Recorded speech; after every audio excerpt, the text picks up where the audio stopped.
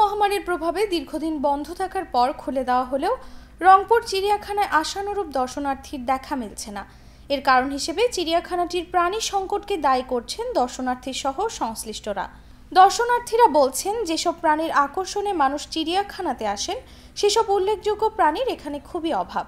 এই চিড়িয়াখানায় zebra, giraffe, হাতি, কানো, চিতাবাঘ, বিশেষ করে বয়সের ভারে কোনো প্রাণী মারা গেলে তা আর সহজে পূরণ হয় না। ফলে প্রাণীর অভাবে চিড়িয়াখানাটির আকর্ষণ কমতির দিকে। সংশ্লিষ্ট সূত্রে জানা গেছে, রংপুর চিড়িয়াখানায় বর্তমানে বত্রিশ প্রজাতির দুশো উনষাটটি পশু পাখি রয়েছে। এসব প্রাণীর বেশিরভাগই বয়স্ক। কোনোটির আবার জোড়া নেই।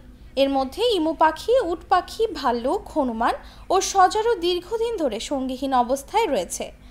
দীর্ঘদিন সঙ্গী ছাড়া থাকা একমাত্র বাঘিনীটিও গত চার ফেব্রুয়ারি মারা যায়। ফলে বাঘশূন্য এখন খাঁচা।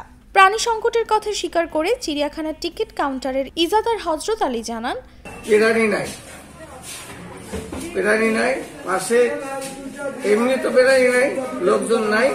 তারপরে পাশে চিগলির বিল একটা হয়েছে। চিগলি বিলের লোকজন যা আসে সব চিগলি বিলে চলে যায়। চিড়িয়াখানায় পেরানি নেই কিছু নেই আর আমাদের এখানে কিছু কিছু প্রাণী আছে, তারা নিঃসঙ্গ অবস্থায় আছে।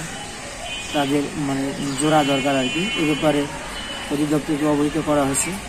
তো অধিদপ্তরে আমাদের যে সম্মানিত ডিজি মহোদয় আছে, উনি এসব প্রাণীর জোড়া দেওয়ার জন্য প্রতিশ্রুতি মানে আশ্বাস দিয়েছেন আর কি।